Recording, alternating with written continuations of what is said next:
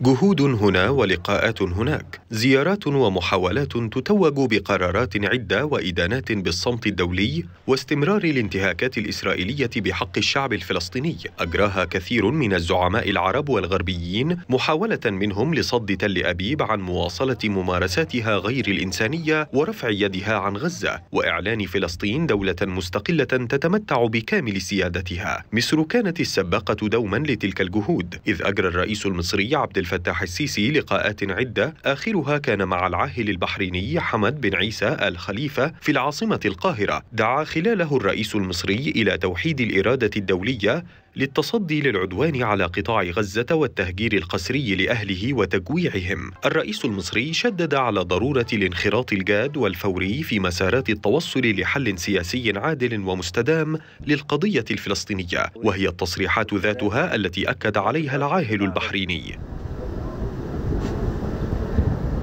القضية الفلسطينية لا تزال القضية الأبرز على طاولة المفاوضات العربية.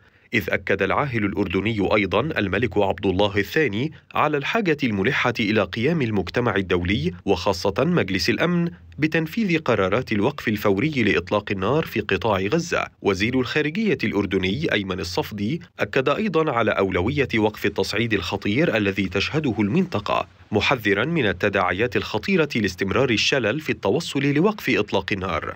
دوليا ظلت القضية الفلسطينية حاضرة إذ طلب وزير الخارجية الإيطالي أنطونيو تاياني إسرائيل بوقف عمليتها العسكرية في قطاع غزة وتوفير الحماية لنحو مليوني مدني بالقطاع. أما منظمة الصحة العالمية فقد أدانت هي الأخرى ما يحدث داخل قطاع غزة لا سيما الانتهاكات المستمرة بحق الأطباء والقطاع الصحي. غزة قضية شغلت ولا زالت تشغل الرأي العام العربي والدولي. كخنجر مسموم وضعه الاحتلال في قلب الإنسانية فخارت قواها وهي تطالب العالم بالانتفاض لأجلها.